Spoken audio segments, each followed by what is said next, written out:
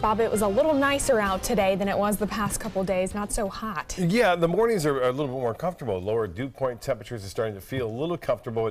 But, uh, you know, we'll take whatever we can get after this long, hot summer that we went through. Yeah. Uh, you know, we've got a, a, big month. You talked about it earlier in the news store, uh, newscast there about Breast Cancer Awareness Month, and we have a special program going on all this month. Real men wear pink. That's the reason why I'm wearing pink tonight. A pink tie, pink shirt. You may not be able to see that at home, but it is. Uh, American Cancer Society obviously doing wonderful things to help out fundraising for early detection, prevention, groundbreaking research, and patient support, which is really all that important.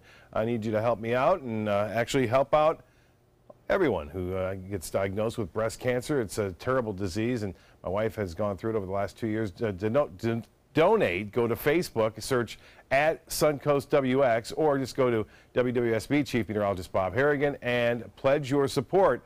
We have about 24 other guys in town trying to raise money for this cause, doing our part in Real Men Wear Pink. I'll have something on mysuncoast.com too before this newscast is over, so you want to go there as well. Casey Key showing the pink sky right there uh, for October as well, and we had some nice photos sent in.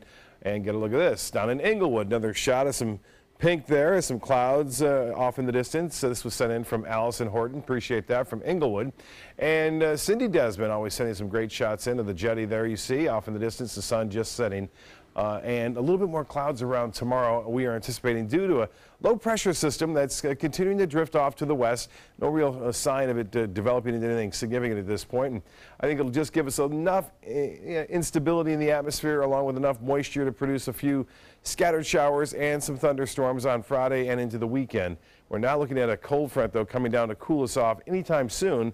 It'll be a little bit cooler, as I said, in the morning hours, and especially uh, looks like midweek next week, maybe back down to normal. Normal high for this time of year, right around 86. Not much rain out there uh, currently along the sun coast. We'll see a little bit better chance for some showers tomorrow afternoon and evening. I think most of it should be over by game time for the football Friday night. 79 on the temperature now, dew point temperature 72 when the winds are out of the east northeast at 8 and the pressure 29.97.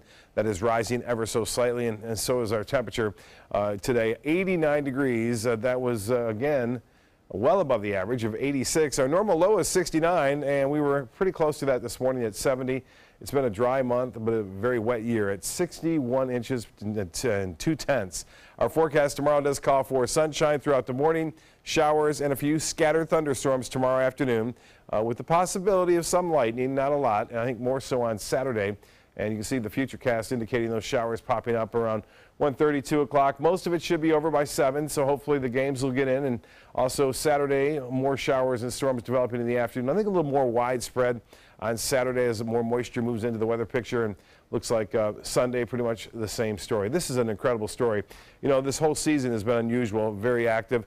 Well, this is now at 105 mile an hour winds. We've never had a hurricane this strong, this far east and north in latitude ever recorded. And this one is now still gaining strength, even though the water temperatures are marginal at best there. And it continues to move off to the east very slowly, east northeast movement.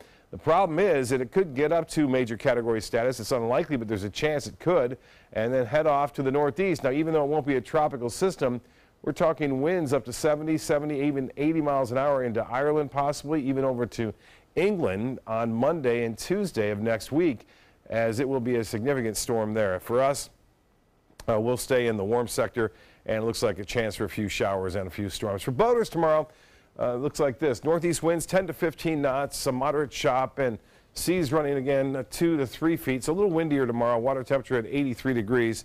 And the tides upcoming. The next low tide at 1, 632 for the high tide. And the forecast checks in like this. Partly cloudy, warm, and some patchy fog.